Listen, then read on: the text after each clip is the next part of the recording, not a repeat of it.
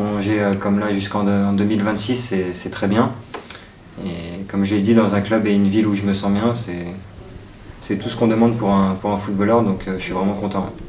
Comme j'ai quatre enfants, deux, deux, qui sont à l'école, donc je préfère la, stabilité. Même eux me demandent de, de, rester dans la ville. C'est vrai qu'ils ont, ils ont leurs amis. Euh, comme tu as dit, c'est vraiment la stabilité que, que, je recherche maintenant. Et donc euh, cette prolongation euh, tombe pour moi.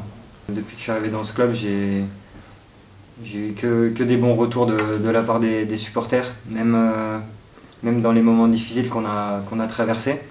Donc ce que j'ai à leur dire, c'est qu'on espère continuer sur sur les, comme sur les deux derniers matchs qu'on a fait, euh, surtout sur, sur l'état d'esprit et, et, ce qu'on a montré sur le terrain pour, euh, pour leur procurer du plaisir, parce que voilà, c'est ce qui, ce qui nous a manqué les derniers temps.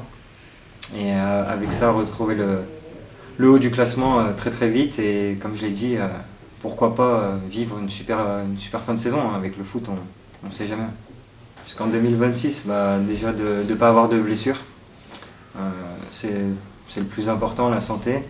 Et après, comme je l'ai dit, renouer avec, euh, avec le succès qui est attendu à l'Estac par, par les supporters, surtout euh, qui, qui, ont un peu souffert les, les derniers temps. Donc on, espère, euh, comme je l'ai dit, remonter au classement et, et pourquoi pas avoir une, une belle fin de saison pour eux.